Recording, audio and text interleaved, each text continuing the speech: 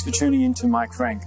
And today uh, I've got a, another opportunity to speak to Norbert, ask him a few other questions uh, that have been uh, that I've been quite interested in. I've currently uh, been working in Norbert's uh, personal mentor group, and uh, and that's helped me along a long process of internet marketing. And I've come across a program that I'm very interested in, which Norbert is a co-founder of the company. It's called MLSP. Now what I'd like to find out from you, Norbert, is how can I integrate uh, MLSP into my Moat business, and how can that help me? Yeah, absolutely. Um, I mean, the whole purpose of designing MLSP was to help uh, affiliate marketers, online marketers, home-based business professionals, uh, to help them generate leads, build their email list, uh, but provide value to the marketplace, and then be able to promote whatever primary offer they have on the back end of that.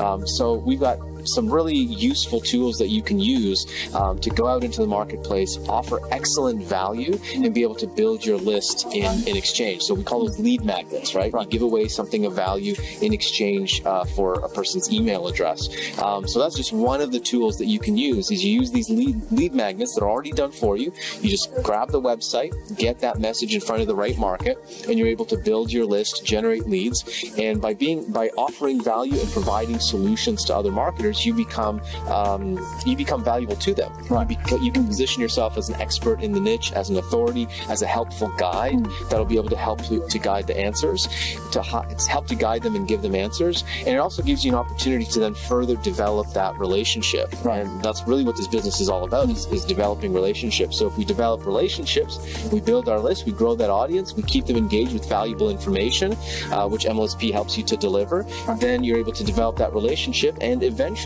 uh, do business with those people in your primary opportunity as well. Well, well thank you, Norbert.